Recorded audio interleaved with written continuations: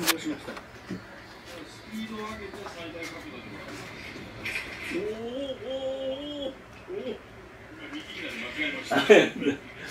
右に回るときは傾きませんねバランス角度でまっすぐ来て足首を止めてでここで最後にグイッと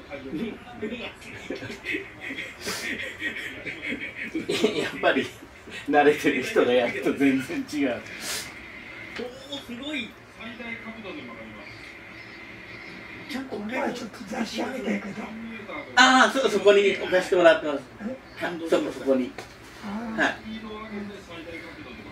あの見てもらえる人もいあ、て。はい。あかりました。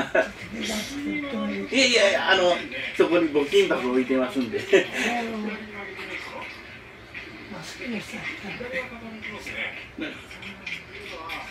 センターの左はちょっと重いいやなんか全然浸水しなさそうですね。あそれであのラジコンの船っていつ頃からやられてたんですか？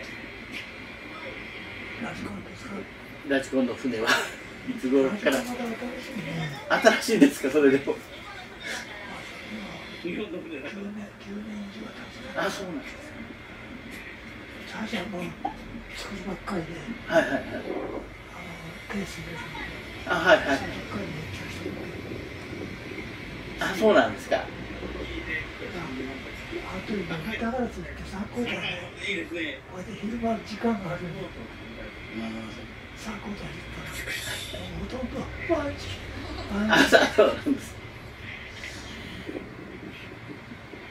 25年間、だかあそうなんです。かあそれであのーどこでどこでラジコンの船をやってたかなんですけどで白く小学校でややられたことがあるんですけどあそこ今の大きいやつはテスト的にちょっと脳電会の人に頼んであのしっかりと紹介してもらってはい。それ使ってくれることでそれで学校テストしたんですよあなたうまいこと言ったのではいそれから今度よくよくやってるなあとあそこ裏側にさっき由来川のはい綾部大橋のあそこみんな高校生があれやってるんですよはいはい想定あそこで、サークルってあそこ、工事やっとってね、はいはいそう、足足とか、ちょっと入りがね、あそうなんです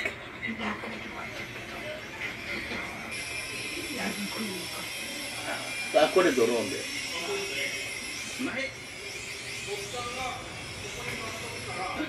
え今回そのドローンもやるんです。よはい。その場で回転してどうするんですとか体育館で、あこれ体育館。というか。もともと大入小学校なんで行動というか体育館というか。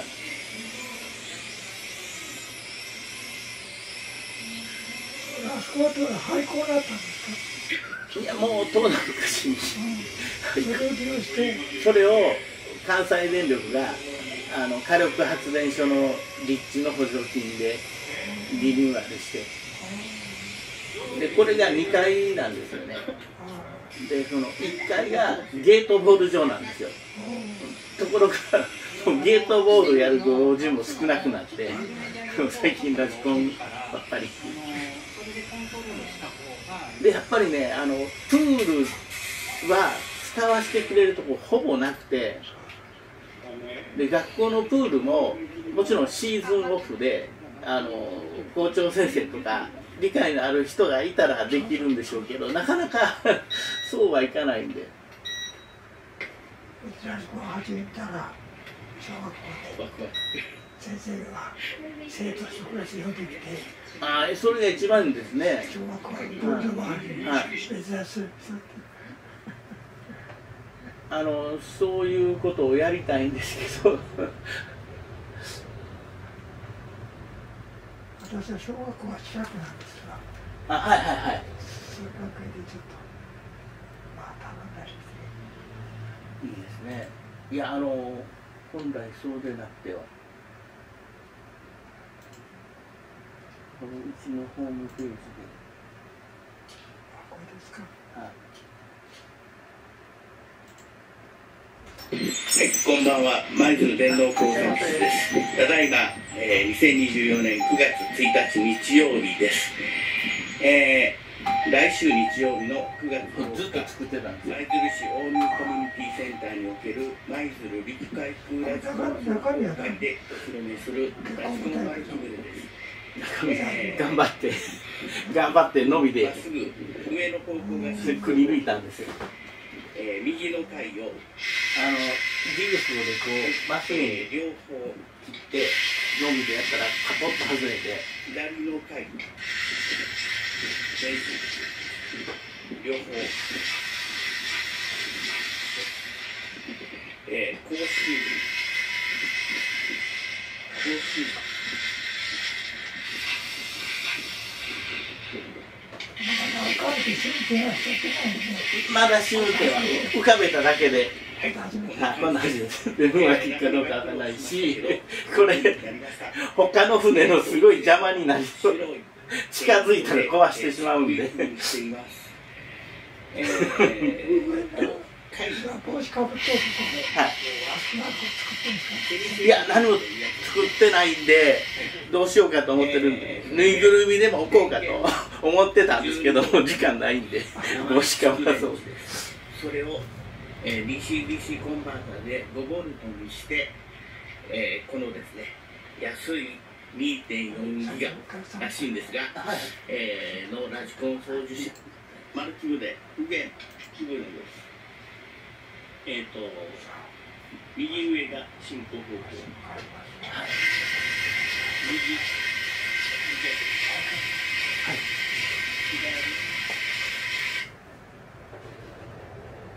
帽子体調が良くて行はい。けたらはい。ああ持っていくか。はいもう何でも。い。やいや連絡してもらったら何とでも対応します。あありがとうございます。あすいません。あありがとうございます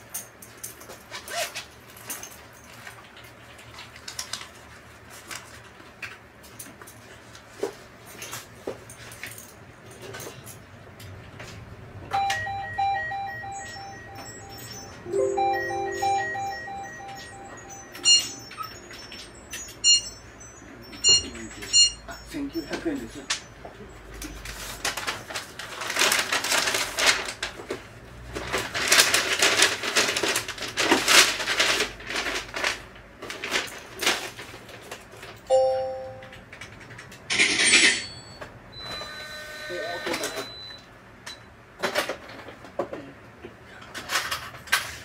ありがとうございます。